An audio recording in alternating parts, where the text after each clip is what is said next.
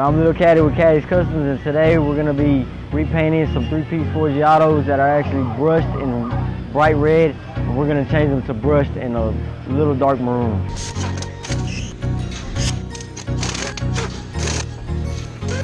First step, what you've seen, we actually took the wheels apart so now what we're getting ready to do is actually scuff them up, get them ready for paint. So you want to scuff them up a nice surface because if you, you don't want to use a sandpaper because if you actually dig into the brush of the wheel as a finish, you can't get back. So you just want to scratch the edge of the clear, the top of the clear, and get a nice smooth finish.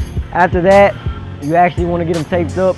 Taping up is real precise because if, if your lines are off, your paintwork is going to be off. So you want to make sure your lines are nice and straight when you tape up. After you tape them up, we'll add color. This particular color is going to be a dark maroon. After that, after you add the base, you pull off all your tape work Make sure all your lines are nice and clean. Like I said, you want to make sure they're nice and precise because if they're not, you'll have crooked lines and it just does it looks very unprofessional. After your lines are nice and straight, you add your clear coat. And actually on the clear coat, you're gonna do more than one one pass on them, one spray out. Because I mean, on a, a three-piece wheel on the face of a wheel, it's all different angles and curves and everything. So you wanna make sure you get a nice even flow over the whole wheel. All right, so we got it out the paint booth. Uh, the wheels and the faces, we got them taken care of. They've been, they sat over the weekend so they dried, you know, they cured real nice. You don't want to touch them when they're fresh because they take a lot of pressure to get them together and get the faces in there right. So uh, this is actually what it'll look like once it's done. We're actually getting ready to get it all tightened up. You want to use a, a small impact. You don't want to torque them too much or too not enough because this could be your biggest mistake. Your wheel can come off, your face can come off, and you'll have the biggest accident that you can possibly think of. What would happen if you torque them too much is the actual bolts will break. I mean, they, they got a, a, certain pounds of torque that need to be torqued to, and if I'm not mistaken, I believe it's 27 pounds. If I'm not mistaken, don't hold me to it, but I'm like 98% sure. And if you do break a bolt, you will have, I mean, you don't have to go to Forgiato, but you can run an aftermarket one but as you can see, you can tell the difference.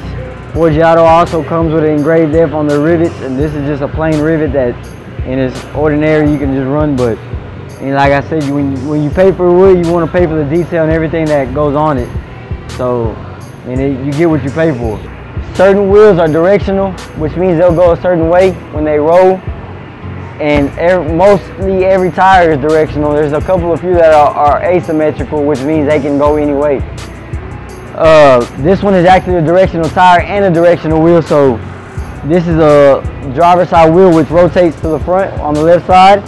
So you want to get a wheel that's going to rotate to the front on the left side. So let me find one real quick, a back wheel. This is the actual back wheel. And as you can see, the direction is rotating to the left.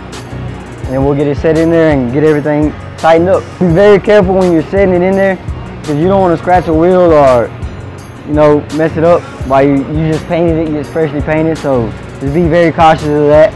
What I tend to do is actually put a couple of rivets in there, just periodically,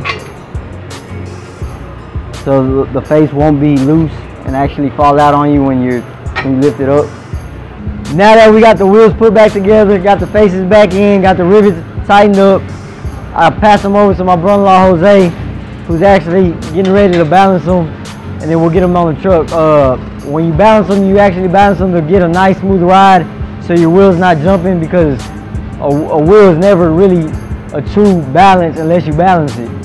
So now that we got the wheels mounted up on the truck, we're pretty much done with the visual of it, the exterior of it. So I mean, if you want your wheels customized and painted to the way you prefer, then make sure you subscribe to us on YouTube, follow us on Instagram, and follow us on Facebook.